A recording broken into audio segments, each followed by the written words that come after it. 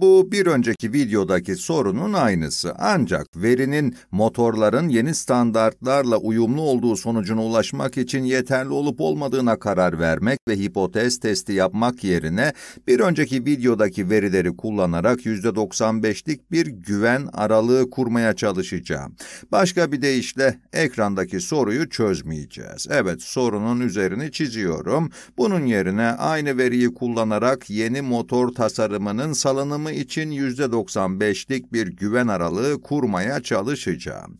%95'lik bir güven aralığı dedim.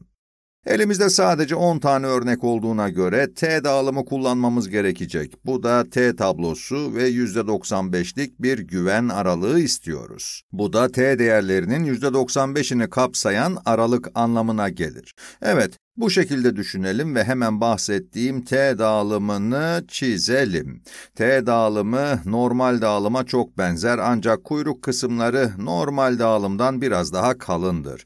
Bu ucu ve bu ucu normal dağılıma göre daha kalın olacak. Biz bir aralık bulmak istiyoruz. Bu eğer normalize edilmiş bir t dağılımı ise ortalaması sıfır olur. Bizim bulacağımız t değerleri de buradaki negatif, buradaki pozitif olacak ve bu şekilde olasılığın %95'ini kapsamamız gerekiyor. İşte bu alanın %95 olmasından bahsediyorum. Bu uç ve bu uçtaki kritik değerleri bulmak için de bir t tablosu kullanacağız. Merkez etrafında simetrik olduğumuz için bunun iki taraflı versiyonunu değerlendirmemiz gerekecek. İki taraflı versiyonda %95'lik bir aralık işte burada. Elimizde 10 tane veri olduğuna göre serbestlik derecemiz de 9'dur. Evet 10 veri için serbestlik derecesi 9. Buraya bakacağız. İki taraflı t tablosu, serbestlik derecesi de 9 ise olasılığın %95'i bu iki t değeri arasında kalacak. Bahsettiğim t değerleri 2,262 ve burası da eksi 2,262. Tablodan sonucu elde ediyoruz. T dağılımının merkezinden 2,262 uzaklıktaki tüm değerleri ele alırsak, olasılığın %95'ini kapsamış oluyoruz. İşte T dağılımımız. Bu dağılımdan rastgele bir T değeri seçersek, bu değer %95 olasılıkla merkezden bu kadar uzakta olacak. İsterseniz bunu not edelim. Rastgele bir t değerinin eksi 2,262'den büyük ve 2,262'den küçük olma olasılığı %95'tir. Bir örneklem aldığımızda bundan rastgele bir t değeri de elde edebiliriz. Örneklem ortalamamız ve örneklem standart sapmamızı biliyoruz. Örneklem ortalaması 17,17 ,17 idi. Bir önceki videoda bunları toplayıp 10'a böldüğümüzde bunu bulmuştuk. Örneklem standart sapması da 2,98.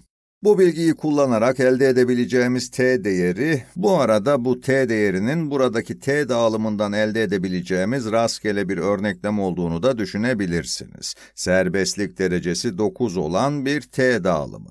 Hemen hesaplayalım ortalama 17,17 eksi popülasyonun gerçek ortalaması ya da örnekleme dağılımının ortalaması da diyebiliriz ki bu zaten popülasyon ortalamasına eşittir. Bölü S yani 2,98 bölü örneklem boyutunun kare kökü. T değerinin böyle hesaplandığını daha önce de görmüştük. Bu, serbestlik derecesi 9 olan T dağılımından rastgele bir T değeri almakla aynı şeydir. Ve bunun 2,262'den küçük ve eksi 2,262'den büyük olma olasılığı %95'tir. Evet, bu değerde olasılığın %95'ini içine alan bu alanda yer alıyor.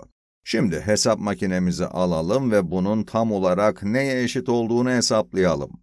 2,98 bölü 10'un kare kökü 0,9423. Şimdi bu eşitsizliğin iki tarafını da bununla çarpmak istiyorum. Hemen yapalım isterseniz.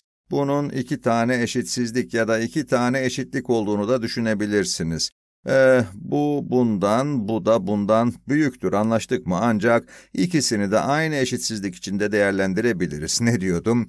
Bunun iki tarafını da az önce bulduğumuz sonuçla çarpalım diyordum değil mi? Şuraya not edeceğim. 2,98 bölü 10'un karekökü yaklaşık olarak 0,942'ye eşit. Şimdi de çarpalım. Sol tarafta eksi 2,262 çarpı 0,942 çarptığımız sayı pozitif olduğundan eşitsizlikler yön değiştirmeyecek. Küçüktür. Bunu bununla çarpınca birbirini götürecekler ve geriye 17,17 ,17 eksi mü yani popülasyon ortalaması kalacak ve yine küçüktür. 2,262 çarpı 0,942. Aslına bakarsanız eşitsizliğin iki tarafını değil, eşitsizlikteki bütün terimleri bu değerle çarptım, öyle değil mi? Ortadaki ifadede bir sadeleşme oldu ve geriye bu kaldı. Ne yaptığımı şu şekilde gösterirsem daha iyi olacak. Çarpı 0,942 ve çarpı yine 0,942. Bu ikisi birbirine eşit olduğundan sadeleşiyorlar. Anlaştık mı? Sıra geldi yine hesap makinesine. Evet, 0,942 çarpı 2,262, 2,13'e eşit. Hemen yazıyorum. 2,13. Ee, burası da eksi 2,13 olacak. Eşitsizlik işaretlerini de ekleyelim. Küçüktür. 17,17 eksi ortalama olacak ve küçüktür. Ve şimdi de ortalamanın ne eşit olduğunu bulmak istiyorum.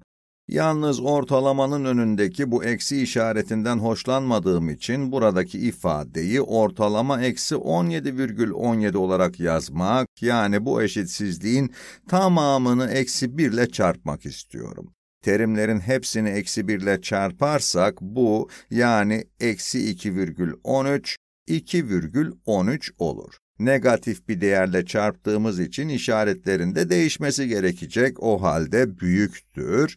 Bunu eksi 1 ile çarpınca ortalama eksi 17,17 ,17 elde edeceğiz ve büyüktür eksi 2,13. Çok az kaldı. Mü'nün neye eşit olduğunu bulmak için eşitsizliğin iki tarafına da 17,17 ,17 ekleyeceğiz. 2,13 artı 17,17 ,17 büyüktür. Mü eksi 17,17 ,17 artı 17,17 ,17 buradan sadece mü kalır ve büyüktür. Eksi 2,13 artı 17,17. Eşitsizliği incelerseniz yani arada büyüktür işaretleri olduğundan bu sayının aralarındaki en küçük sayı bunun da en büyük sayı olduğunu söyleyebiliriz öyle değil mi? O halde gelin bunu diğer türlü yazalım. Hesaplamaları da yapalım.